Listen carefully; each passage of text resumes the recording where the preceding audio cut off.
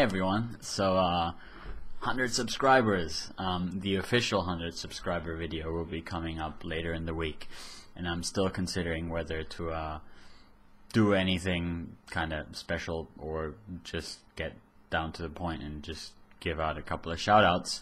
Um, but pre 100 subscriber video, uh, please, uh, thank you very much um, if you've subscribed or just watched any of my videos.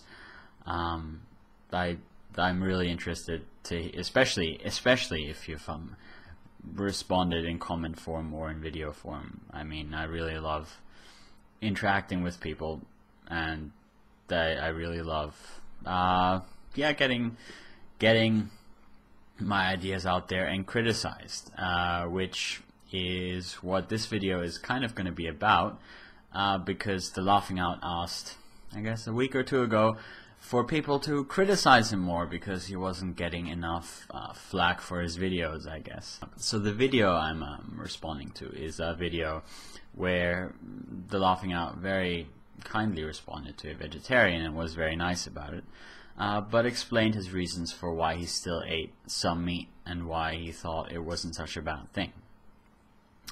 And I guess there's two aspects to this. There's the environmental impact aspect and the morality uh, or ethics aspect.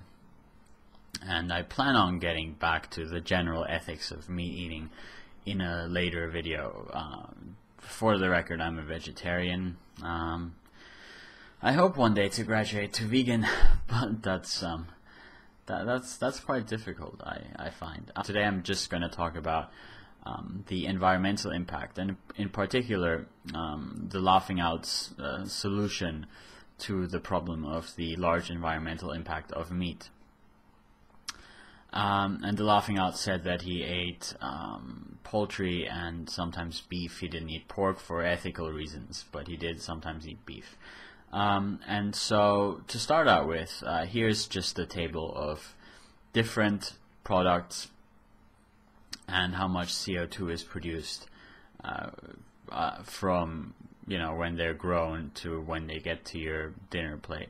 Uh, and it's these numbers are quite obvious. Um, so um, any form of meat is basically worse than pretty much any form of of uh, vegetarian option.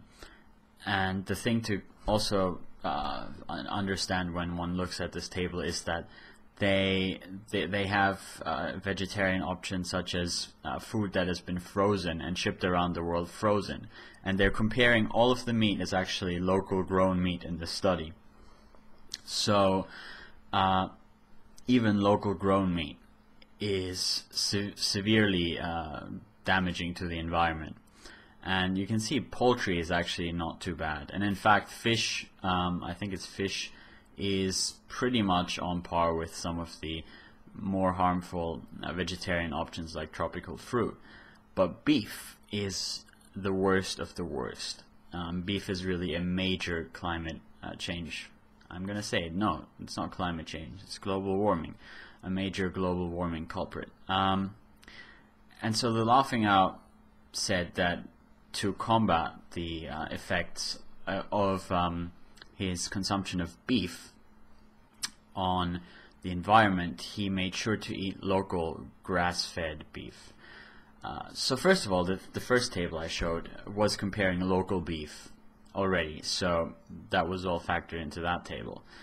Now the second question is grass-fed versus grain-fed. So the assumption is often that grass-fed beef is less environmentally damaging because um, because it uh, because you don't have to grow extra food for it. You don't have to set extra land aside for that beef to be fed. Uh, it can just feed off the grass. So there's a couple of problems with this. The first one is that if you're using land that could be used to grow grain that could feed people or beef, then that argument doesn't make any sense because it would be a lot more efficient to use that land for growing grain which means that which means that you can only really use marginal land for grass-fed beef, land that is not really farmable at all. Um, the second problem is that grass-fed beef takes longer to mature uh, because grass is not as high energy. It takes longer to uh, rear the beef from um, from youth to when it can be slaughtered. It needs to stay alive longer. And during that time, it turns out that since grass is a far less efficient uh, energy source than um, than grain and is far harder to digest, uh, cows during that period of time fart a lot more methane, uh, methane, methane, methane probably, um, and it turns out that the, the the farting that cows do is one huge contributor actually to their uh, environmental impact. So when you combine the fact that you have to rear the cows for longer and the fact that they actually uh, output more methane, then that actually makes for grass-fed cows being environmentally more damaging than grain-fed cows. And there have been a couple of studies. One that I came across was this one, uh, which I've got the link to in the below box. But just the abstract, you can see that uh, in terms of greenhouse gases, this study found that grass-fed beef was by about 40%, and other studies suggest as much as 70% worse in terms of uh, greenhouse gases than grain-fed beef, which can be manufactured much more efficiently. Um, so the idea that you can limit your environmental impact by eating grass-fed beef is uh, is is is false uh, in all likelihood empirically. Um, so if you take into account all of the pollution that beef creates, it is actually more damaging. And even if it were only half as damaging, even if it weren't more but less damaging, the impact would still be very, very significant. Um, and it would still be worse than, than pork uh, in terms of greenhouse gases. So eating any form of red meat in terms of environmental impact is really not a very good choice. And there's another big problem, and that problem, uh, there was a report by, uh, I think it was a UN agency or or one of those development charities, um, quite recently, and they looked at world food prices, and they estimate that they will double, I think, in the next 20, 30 years. So I think by 2040 or 2050 prices for basic food staples will have doubled. And whilst they don't discuss this in the study, uh, as far as I could see at least, um, at least not in the summary that I read, one of the obvious reasons for why food prices will increase is people eating more meat and meat being very inefficient. Um, if you can grow a food supply for meat which you can use all of the non-marginal land for, then to put that into a cow and to eat the cow is very inefficient. Um, so in fact, uh, we are going to be driving up the prices because not only um, are there going to be more people, so we're going to need more food, there's also going to be an increasing middle class in China and India, and they're going to emulate our behavior. They're going to start eating more and more meat. Uh, so that is going to mean there's going to be a bigger need for more and more feed, and that feed will drive uh, will obviously um, drive up the prices for those basic staple foods. So by eating meat, in a sense, we're also taking food from the mouths of the most needy in terms of actually uh, worsening the global food situation.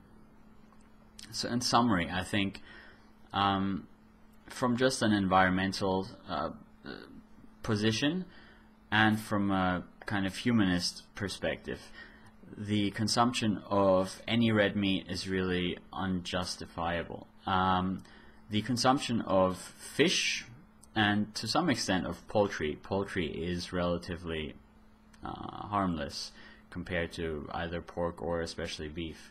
Um, that that would be justified from an environmental perspective.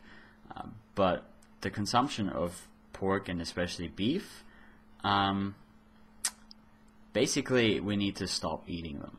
We need to stop eating them as quickly as possible. As much as people might enjoy their steak or whatever else, uh, there is no sustainable method short of genetically engineering cows to fart less and be more efficient at pr- processing uh, food that would get past this problem. And there are a range of other environment environmental impacts from the waste that gets dumped into rivers to the deforestation that is taking place in various places to uh, create grass uh, land or just land where you can just raise cattle uh, that have further impacts. Um, yeah, anyways, I hope you enjoyed uh, my attempt at a rebuttal, um, the laughing out, and I will see you guys all later. Cheerio.